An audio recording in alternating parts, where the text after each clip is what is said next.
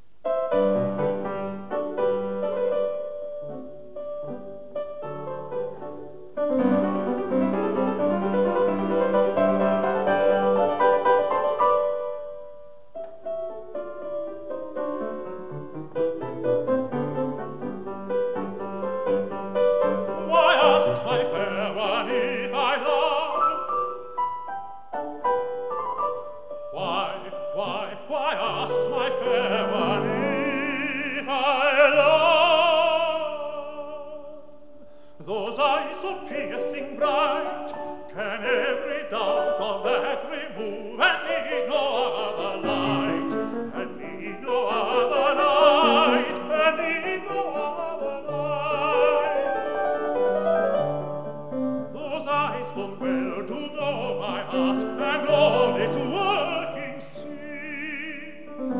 sense.